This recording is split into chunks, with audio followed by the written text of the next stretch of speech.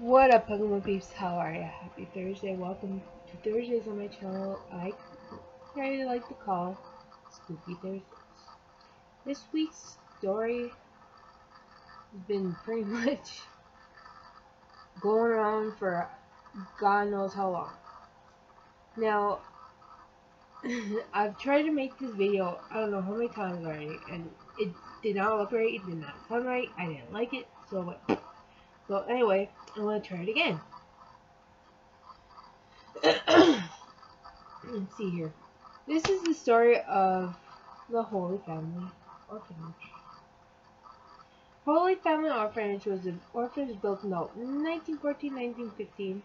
It came about due to other two orphanages in the area being overpopulated, overpopulated, overrun so anyway, in about 1915, it opened. Literally, probably right after it was built. Now, the facade is sandstone, it's brick, it's gorgeous.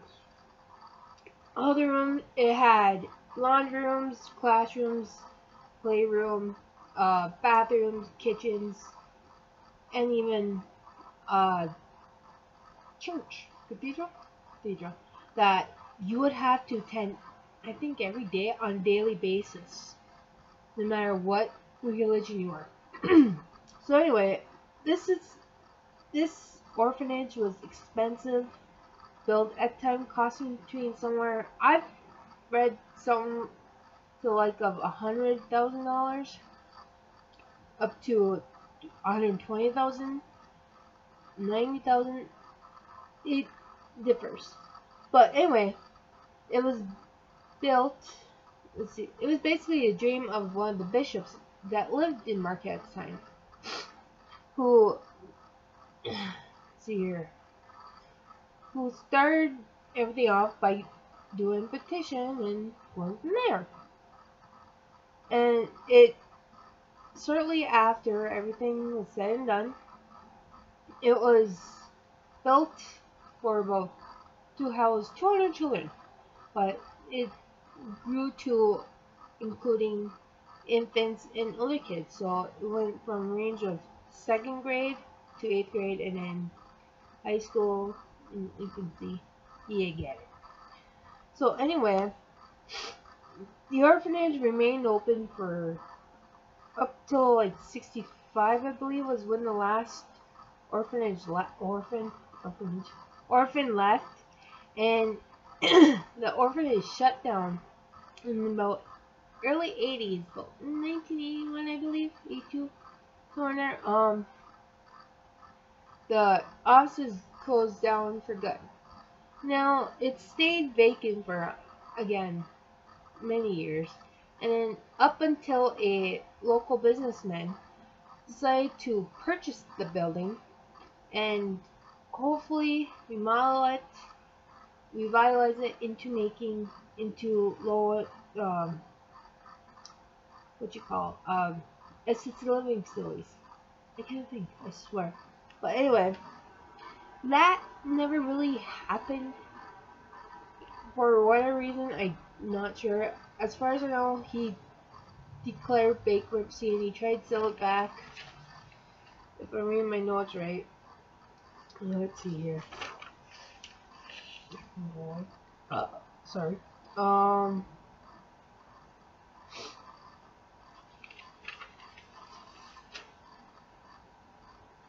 Da, da, da. Yeah, it was abandoned. 82. Um. It was bought by local businessman, like I said, who planned on revitalizing it, making it into a assisted living facility, but it failed to make necessary repairs and he didn't want to sell the building. He, he appraised this building at uh, $1.6 million while the city estimated it at $200,000 Since then, it's been hands changed. It been it's been moved over to someone that a lady that bought it with the hopes of having it as a Foreman's Art School. But unfortunately, that never happened.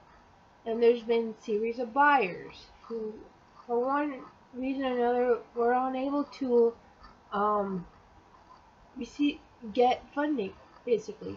Um, so, fast forward till now, it was bought by a company, and mine, I believe, I can't rightly remember. Um, he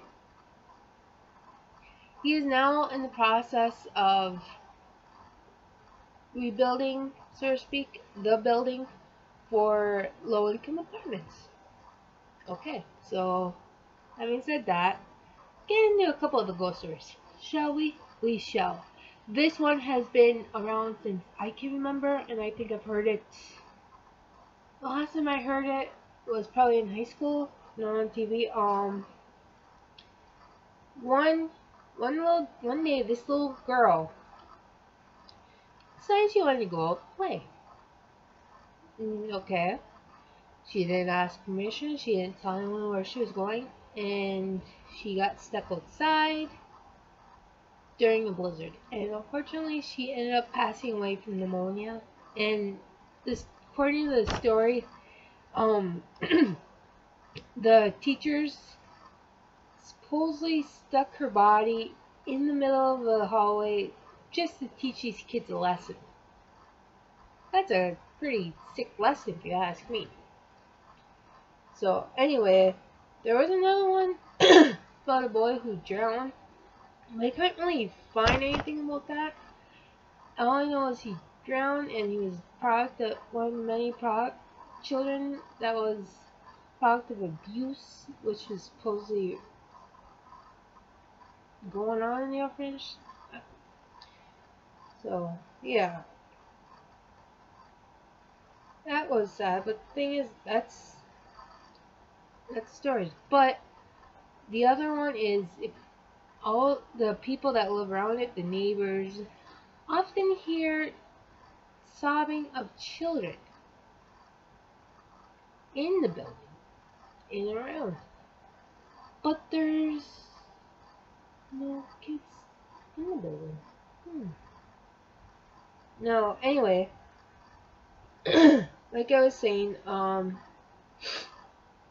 the orphanage has now been sold to a developer, and he's made him and his company or his company. I have um been making the necessary uh, repairs and rebuilding to make it in low-income apartments instead of sitting.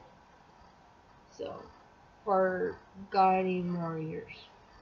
But if you ever come to Marquette, you pass by a,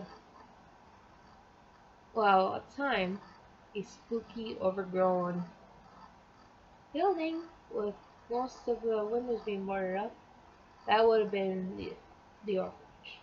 Now, the outer and the inner have changed tremendously, so it's really good. I just hope that the stories are true, which I can, can see that the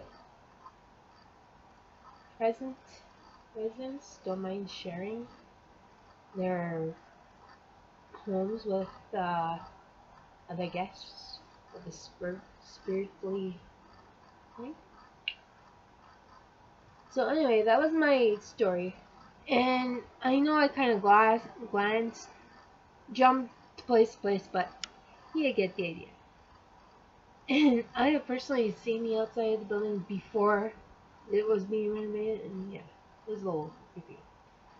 But anyway, having mm. said that, thank you so much for watching, and thank you so very much for all your patience. Um, I hopefully I can get another story up, and I will list as much information as I can so you guys can check it out. And by the way, if you're new here, hit that subscribe button. Um, you can become the Grumpy Pokemon crew. Why not? And hopefully listen to rambling stories of the paranormal as much as I can get. Mm, yeah. So anyway, also if you like these type of stories, hit that like button. It helps me out a lot. And before I leave, I also want to say thank you for all who made it possible to make 38 subscribers. Each subscriber is amazing. It's uh, it's wonderful. I can't thank you guys enough. so anyway, uh, until next time, remember, just because Halloween is over, doesn't mean spooky. Thanks for hanging out with me and Grumpy Puddle over here. Have